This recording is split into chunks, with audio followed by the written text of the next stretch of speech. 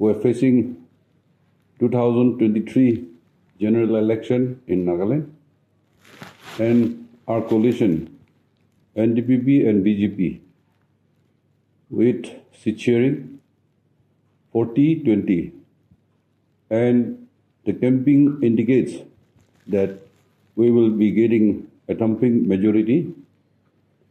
There's some confusion about the rebel candidates, but I appeal to all the voters that you please vote for the, the alliance NDPP and BJP, and we will form the next government with a thumping majority. Thank you. Good afternoon to you all. After this 2023 elections, we alliance with NDPP and BJP.